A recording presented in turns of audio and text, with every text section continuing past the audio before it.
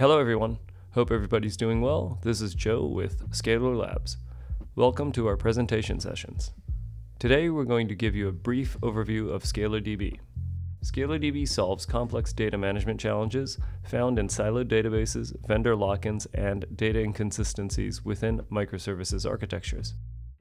ScalarDB simplifies your data architecture, bringing guaranteed strong data consistency across relational databases, AI vector data sources, data warehouses, and NoSQL, while decreasing the time and cost of developing and maintaining applications.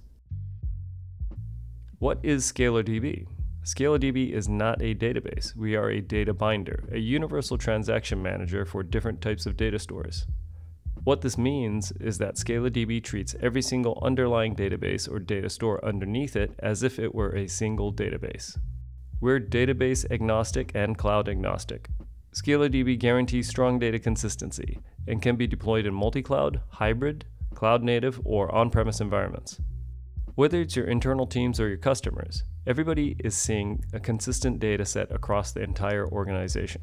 What this means is that there's no more mismatched inventory when your customers are trying to purchase an item when it's supposed to be out of stock, or juggling multiple databases just to figure out which one is the source of truth, or reports from multiple different departments which are inconsistent and conflict with each other, frustrating upper management. ScalarDB does this by simplifying data management and microservices architectures on top of your existing databases.